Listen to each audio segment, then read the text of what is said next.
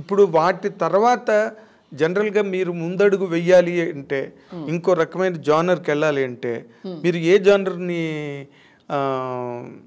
Invite చేస్తారండి? Next film is not a family drama sir. Next film is ఏం చెప్పాలి? Comedy with fantasy and thrill and it has drama also but not a family drama. Okay so many but it's it's commercial sin more very commercial sin I think it's the most commercial cinema that all people which all people speak ఇప్పుడు ఇప్పుడు ఇప్పుడు వరకు నేను చేసిన దాంట్లో అన్నిట్లో most commercial film and full blown entertainer but my style సిద్ధుతో చేసేది సిద్ధుతో సిద్ధుతో చేసేది ఓకే ఎప్పటి నుంచి స్టార్ట్ అవుతుందండి? అది మోస్ట్ కథ రెడీ అయిపోయిందా? కథ రెడీ అయిపోయింది sir we're trying to lock the screenplay now so mostly by the year end will start off sir November December time start in జనరల్గా అంటే ఇప్పుడు గర్ల్స్ ఫిల్మ్ ఇండస్ట్రీలోకి రావడం అన్నది it's a very difficult process it's not very easy ఎందుకంటే వాళ్ళు ఏదో చదువుకుంటారు మ్యారేజెస్ చేసి పంపిస్తారు. లేకపోతే ప్లస్ మన ఇండస్ట్రీ గురించి రకరకాల అపోహలు ఉండేవి సార్ ఇంతకు ముందు. ఇప్పుడు కూడా కొంతమందికి ఉన్నాయి. బట్ డెఫినెట్గా ఇప్పుడు ఇప్పుడు వస్తున్నారు. చాలా మంది. చాలా మంది వస్తున్నారు పెద్ద చదువులు చదువుకున్న వాళ్ళు కూడా వస్తున్నారు. ఎంబీఏలు చేసి కార్పొరేట్ ఎంఎన్సీలో పనిచేసి రిజైన్ చేసి వచ్చిన వాళ్ళు ఉన్నారు. మన రీచ గంగోపాధ్యాయ ఉంది. అమ్మాయి చేస్తూ చేస్తూ చదువుకోవడానికి వెళ్ళిపోయింది.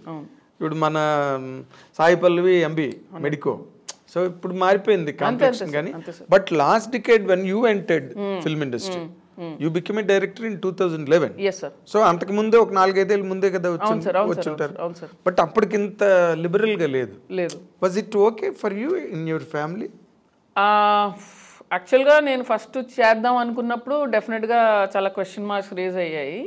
ఎందుకు? ఎందుకంటే మా ఫ్యామిలీ అంతా doctors lawyers judges academic academic so ఎందుకు అనే ఒక క్వశ్చన్ రేజ్ అయింది.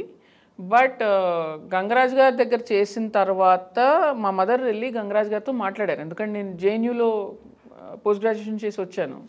సో సివిల్స్ చేయొచ్చు కదా ఇవన్నీ ఎక్కువ కదా హైయర్ లెవెల్ ఆలోచిస్తారు కదా.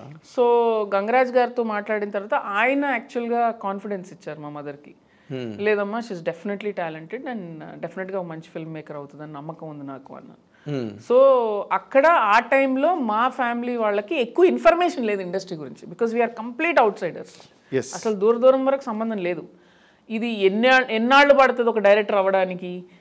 What is the success rate in the industry ఎంతమంది మహిళలు ఉన్నారు? ఇది ఏమీ లేదు ఇన్ఫర్మేషన్ ఏ స్టాటిస్టిక్స్ ఏ స్టాటిస్టిక్స్ లేవు. కానీ ఇది కొత్త ఫీల్డ్ ఏంటి అన్న అన్న అపోహ మాత్రమే ఒక ఒక- ఫియర్ ఉంది అంతే. సో ఇది ఆ ఇన్ఫర్మేషన్ లేకపోవడం కూడా మంచిది. It was a blessing in disguise అంటే ఇప్పుడు ఈ బావి ఇప్పుడు ఎంత లోతు ఉందని తెలిస్తే ఆపుతారు ముందు. చాలా లోతుగా ఉందంట. లేదు ఎంత లోతో తెలియదు కానీ ఈ అమ్మకి ఈ అమ్మాయికి ఈత వచ్చండి చేయగలదు అని ఒక స్విమ్మింగ్ కోచ్ పక్కన చెప్పాడు అనుకోండి ధైర్యం ఆ ధైర్యం వస్తుంది. వచ్చి సరే సరే దూకేలే పక్కన. చూద్దాం అంటారు. They agreed they agreed my mother my mother was the main reason who said okay సరే. అసలు ఆ మదర్సే ఎక్కువ భయపడతారు.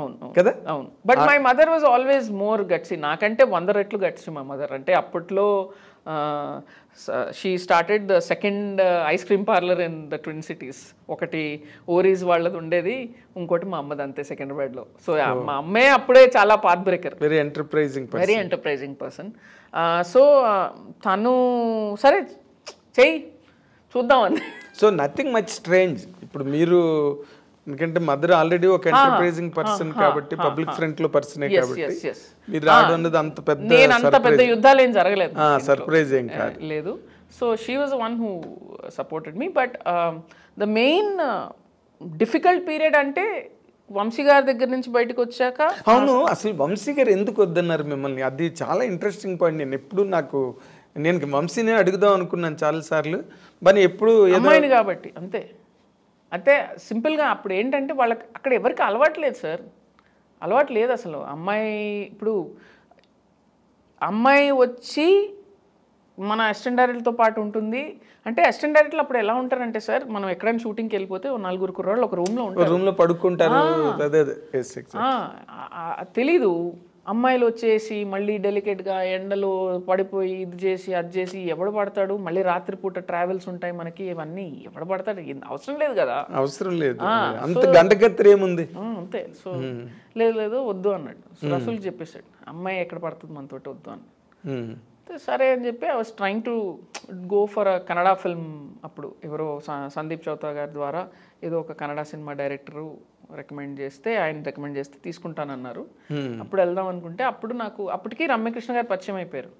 సో నేను మాట మాటల్లో చెప్పాను నేను ఇట్లా వెళ్తున్నాను బెంగళూరుకి అంటే ఎందుకు అంటే కన్నడ సినిమా అంటే ఏంటి కన్నడ వచ్చా? లేదు నాకు రాదు. కన్నడ సినిమాలు తీద్దాం అనుకున్నావు అంటే లేదు. మరి ఎందుకు వెళ్తున్నావు అని? అంటే ఏదో ఒకటి చేయాలి కదా. వర్క్ కోసం. అని చెప్పి వెళ్దాం అనుకున్నాను. అంటే లేదు అంటే చిచ్చి పిచ్చావనా నేను వంశీని ఎందుకు అడగలేదని అంటే ఇలా చెప్పారంట. ఆగు అని చెప్పి. అప్పుడు they were both dating Vamsi and Ramya. Phone చేసి లిటరల్గా టార్చర్ పెట్టింది Ramya. Was it during Chandralekha before Chandralekha అంటే after that I joined exactly for Chandralekha Chandralekha was my first film so ఆయన పాపం కసురుకుంటూ పెట్టుకున్నారు. I was the publicity in charge that right right Chandralekha so I made a promise that నేను ఈయన కసురుకుంటూ పెట్టుకున్నారు కదా ఇవాళ నన్ను ఏ రోజైతే నేను మానేస్తాను బాధపడతాడు ఈయన ఆ- స్టేజ్కి తీసుకొస్తాను నేను అని నేను మనసులో ఛాలెంజ్ చేసుకుంటా it happened happened it happened after Khadgam టైంకి actually I quit and then ఒకరోజు ఫోన్ చేశాను. అందరు కొత్త అసిస్టెంట్లు అప్పటికి. అప్పటికి నేను శ్రీవాసు మళ్ళీ అందరం వచ్చేసాం. ఒక వన్ బై వన్ డైరెక్టర్స్ అయిపోయాం. So directors are we were trying so అప్పుడు ఆ, ఆయన ఫోన్ చేశారు. ఎక్కడున్నాను సార్ ఇంట్లో ఉన్నాను ఒకడికి ఇక్కడికి వచ్చి చూసుకోవచ్చు కదా. అసలు అందరు కొత్త వాళ్ళు ఉన్నారు చచ్చిపోతున్నాను నేను. వచ్చి చూసుకోవచ్చు కదా. అంటే అప్పుడు లొకేషన్కి వెళ్ళాను.